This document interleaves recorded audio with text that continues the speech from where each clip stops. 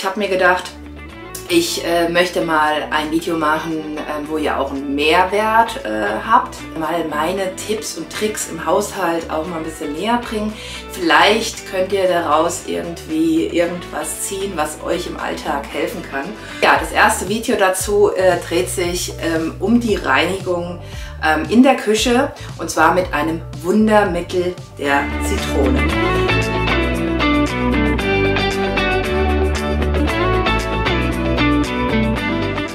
Hallo ihr Lieben und herzlich willkommen zu einem neuen Video von mir. Ja, das heutige Video ähm, ist ein etwas anderes, als ihr es bis jetzt gewohnt seid. Bislang habe ich euch ja mitgenommen, wenn ich gekocht habe, Vorbereitungen gemacht habe, viel geschwätzt mit euch über Privates oder über Sonstiges. Und ähm, ja, ich habe mir gedacht, ich äh, möchte mal ein Video machen, äh, wo ihr auch einen Mehrwert äh, habt. Ähm, habt ihr vielleicht auch über die anderen Videos, indem ihr euch motivieren lässt, ähm, dass ihr putzt oder dass ihr anfangt zu putzen.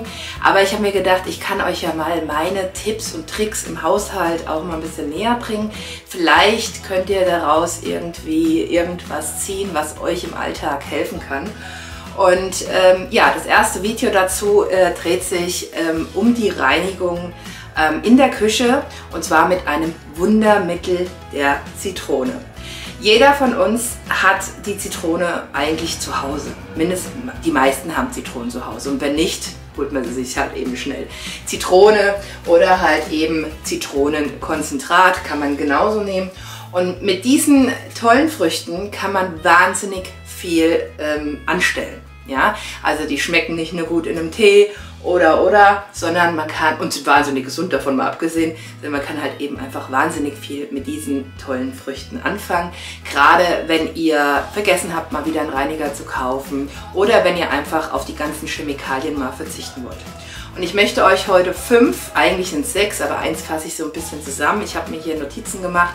Ähm, die liegen neben mir, also entschuldigt, wenn ich immer mal ein bisschen rüber stibitzen muss. Für mich sind das so alltägliche Sachen und dann würde ich sonst die Hälfte vergessen, wenn ich sie euch nicht, wenn ich es nicht aufgeschrieben hätte.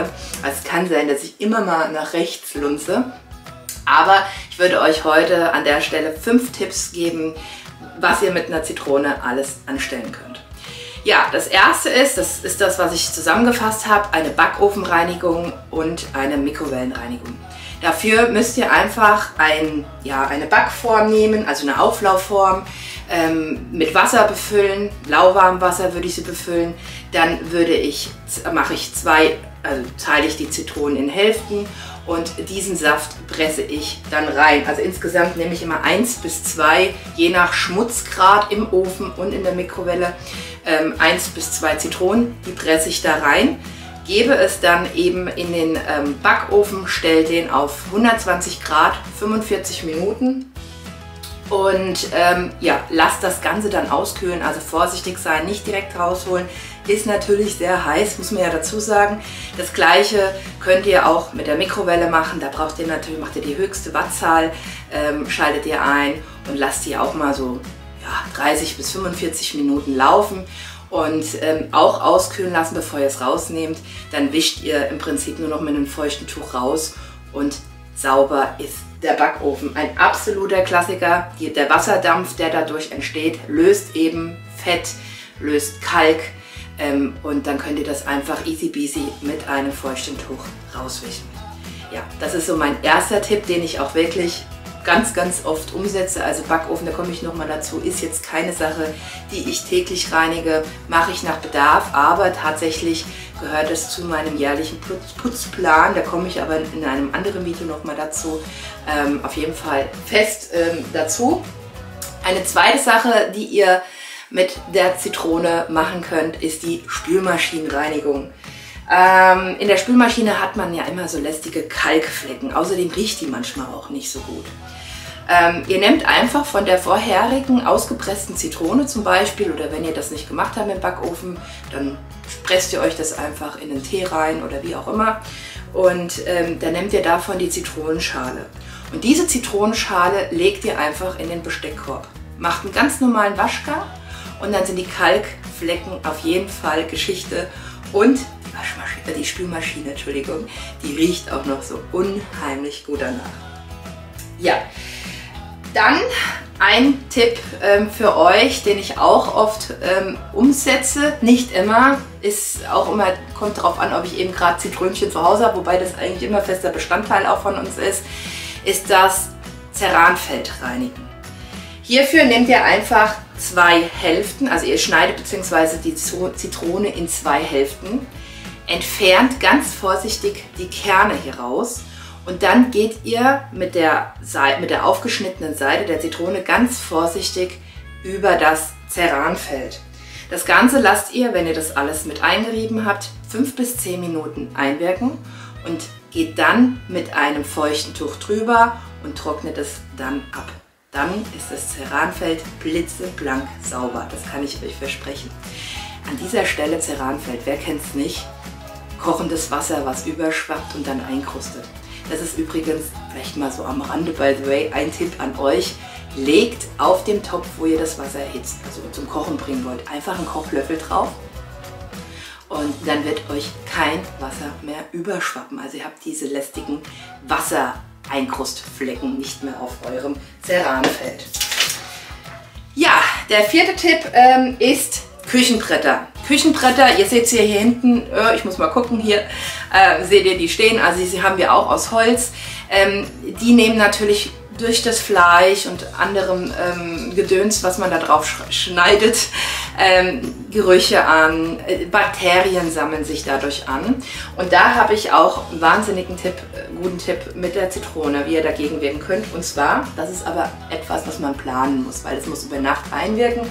Ihr nehmt euch einfach eine halbe Zitrone, also ihr schneidet die wieder in zwei Hälften, nehmt eine halbe Zitrone, reibt das Brett schön ein, lasst das über Nacht einwirken und wischt es dann natürlich wieder mit einem feuchten Tuch ab. Das entfernt nicht nur Flecken, sondern auch Keime und die riechen danach nicht mehr ähm, ekelhaft, wenn ich es mal so sagen darf. Also wenn man die länger benutzt, riechen die ja dann irgendwann. Das kriegt ihr damit schön weg. Und wenn ihr das regelmäßig macht, sowieso. Also mein absoluter, äh, meine absolute Herzensempfehlung auch an der Stelle. Ja, und dann, äh, das kennt ihr auch, man macht den Kühlschrank auf. Das ist so mein fünfter und letzter Tipp. Ähm, ihr macht den Kühlschrank auf, denkt ihr, boah, manchmal hat man einen guten Käse, der aber riecht. Oder, oder, oder. Auch hierfür, je nach Kühlschrankgröße, Zitrone in zwei Hälften schneiden. Für einen kleinen Kühlschrank würde eine halbe Zitrone reichen, einfach reinlegen. Oder halt für einen größeren Kühlschrank wie ich ihn habe. Ich habe ja hier, man kann es jetzt nicht so erkennen hier in der Kamera, ich habe ja einen ganz großen Seit-by-Seit-Kühlschrank. Da nehme ich dann tatsächlich zwei Zitronenhälften, lege die in den verschiedenen ähm, Brettern rein und dann habt ihr diese Gerüche auch nicht. Und natürlich am Wochenende, wenn ich mir mal Zeit nehme, hier das Video zu machen, geht mein Telefon. Ich sag's euch. Also wieder herrlich, perfekt und perfekt. Lasst euch bitte nicht stören. Ich gucke mal, ob ich es wegdrücken kann. Ja ging jetzt automatisch. Also sorry, werde ich auch nie rausschneiden. So ist halt das Leben. Ja, das sind so meine fünf Tipps. Wie gesagt, im Prinzip die sechs Tipps. Ähm, ich hoffe, probiert es einfach mal aus. Manchmal muss man einfach mal Neues ausprobieren und danach kann man immer noch sagen, für mich ist es nichts.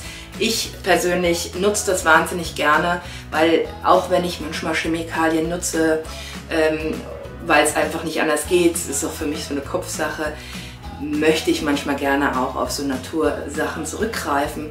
Und da habe ich noch übrigens ganz, ganz viele Tipps für euch. Heute sollte es ja eben nur um die Zitrone gehen.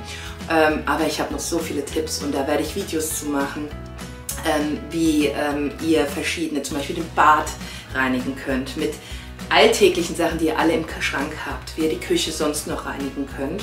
Und ich habe mir auch überlegt, dass ich noch mal ein Video mache, wo ich euch einfach mal ähm, ja, eine Organisation, eine Putzorganisation ähm, darstelle, wie ich sie mache und was ich empfehle, was ich auch über Jahre hin entwickelt habe. Ich meine, wenn man ein Kind hat, ähm, Vollzeit arbeiten geht oder auch wenn man nicht arbeiten geht und drei Kinder, zwei Kinder zu Hause hat, wir wissen alle, was ein Stress ähm, das bedeutet und äh, wie wichtig Zeit da ist. Und ich habe für mich persönlich den perfekten Plan einfach ähm, geschaffen und den möchte ich natürlich auch mit euch teilen und euch da auch nochmal organisationstechnisch ein paar Tipps geben.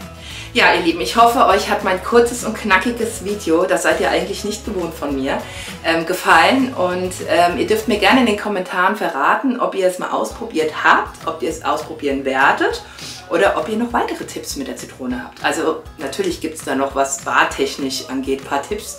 Die werde ich natürlich dann auch zum Bartvlog Tipps ähm, dazu äh, sagen. Heute sollte es ja bei uns hier nur um, nur um die Küche gehen.